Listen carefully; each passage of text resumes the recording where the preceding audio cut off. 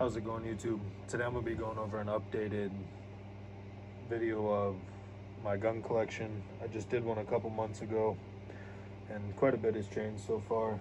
So um, I'm going to start with pistols and then work my way into the big stuff.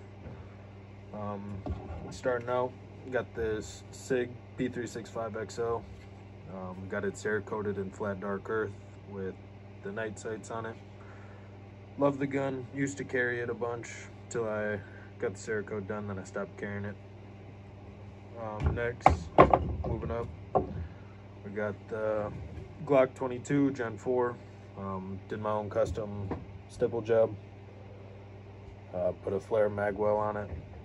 Uh, used to carry this gun a bunch until I got my new carry gun. Uh, plan on putting another light on this. Don't know what light I'm gonna run. Uh, so comment down below recommendations. Uh, this will be just my nightstand gun. It's got the factory night sights. Um, so yeah, comment down below what light I should should run with that one. And then this is my newest purchase. Um, this is my now my everyday carry. It's a Glock 45 Gen 5 obviously with the MOS. I have the Holosun 407C with the, the Streamlight TLR1 HL. Love the setup. Um, probably gonna already change the 407 for the 507. I didn't realize when I ordered it that the 507 you could change the reticle. I like that one a lot better, so probably end up changing that up. uh, then last for pistols, I have a Springfield. Um, fuck, I even got what model this is. I think it's the XD9M. XD9M, uh, four and a half inch barrel, uh, 18 round mags. Um, I consider this my backpack gun. I keep it in the, the MKM kit. Uh, got 32 rounds, or 35 rounds, and then 18 in the mag. Got fold out stock, flip up sights, both Magpul. Um, I plan on also running a light on this one, so comment down below a nice compact light. I was gonna run the, the light that comes with the kit, but wasn't a fan of it, so yeah, comment down below what what uh I don't know if I want to do a light laser combo or if I just want to do a, a white light. Not too sure. So moving up. Moving up, uh, we'll we'll do shotguns and I'll do gauge first. This is a, a Winchester Model 140 20 gauge semi-auto. Uh, I bought it a couple months ago. I'm gonna use it this year to bird hunt. So keep you updated on that. I bought it just for a little little lighter.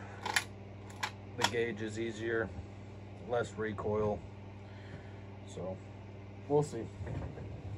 And then uh, moving into 12 gauge, I'll do the smallest. Um, this is a, a Churchill, the Akkar model 612. Got it for a hundred bucks at the at a gun show. So couldn't pass up a hundred dollar shotgun. Uh, next, um, I'll, I'll do this one. This is the Silver Gun Maximus 12. Um, it's a semi-auto 12 gauge with a 11 round mag tube, or it comes with the, the five round. So you can still use it for hunting. I love it. It's great. Kind of keep it for home defense, but ever since I got this one, that one kind of got put to the back of the safe.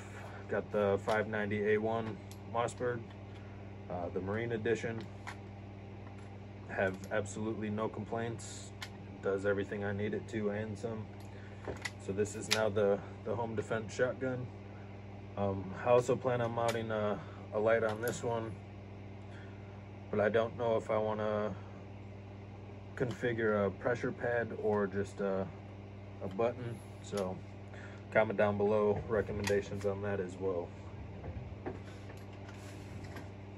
And then last but not least, I have one of my first shotguns. This is a old Stevens Model 67E 12 gauge pump. Um, this thing's tried and true. I've hunted with it for a lot. but now, now this one kind of just got put to the back of the safe, cleaned it up. Don't really use it as much, so plan on just keeping it. Uh, next, next we're moving up to, we'll do like pistol carbines. Uh, I got the, I believe this one is the ASR, yeah, the ASR 10 mil. Um, no complaints. I plan on setting it up with uh, an angled grip. I'll probably do a laser on this one and then probably just do like a, a SIG Romeo, just a little red dot.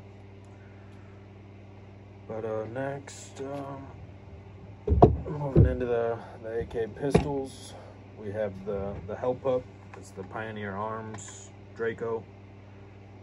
Um, I like shooting this one a lot better than my actual Draco, uh, just because the barrel's a little longer, doesn't get as hot or as hot and it actually has a nice nice guard on the, the top of the barrel.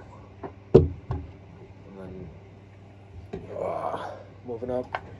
We got the mini Draco. This thing's a blast to, to shoot. Shoots big ass flames. It's it's more of just a a gun you bring out to kind of show off. It's super impractical but cool to have. And then uh move up to A ARs. This is just a, a, cheap build I threw together. Uh, it's a it's an Anderson lower with a PSA upper, all flat dark earth as you can see. And this is just a cheap Amazon. Uh, it's an X Vision Optics. I think it's like a three times. Got multiple colors. You can change the reticle. Uh, next.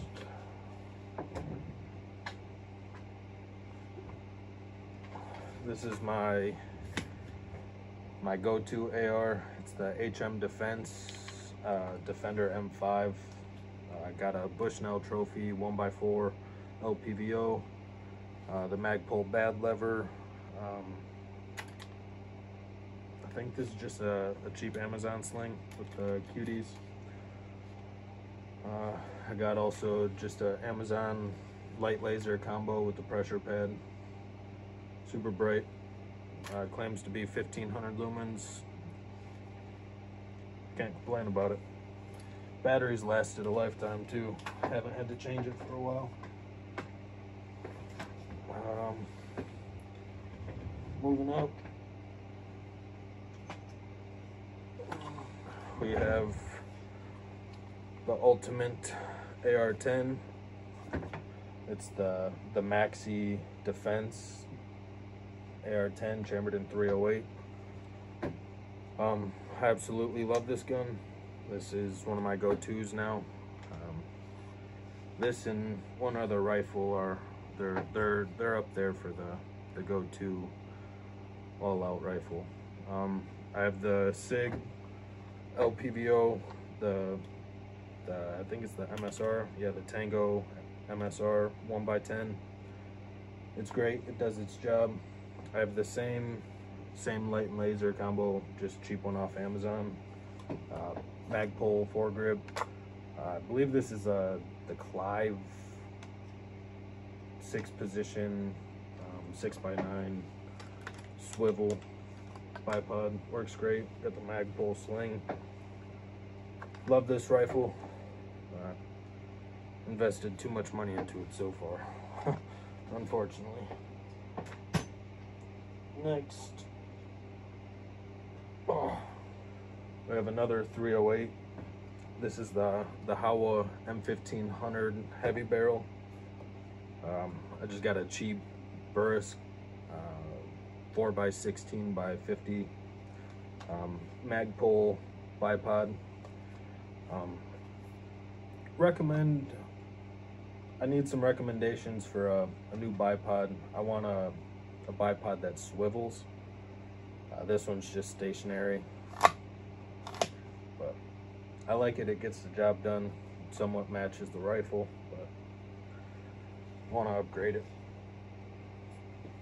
Next, we have the Thompson Center Venture 2 and 6.5. Um, this is the SIG Buck, uh, Bucksmaster 4x16 by 44. It's a great scope. Planned on it being my coyote rifle after I get approved for my can. I'm waiting on some paperwork.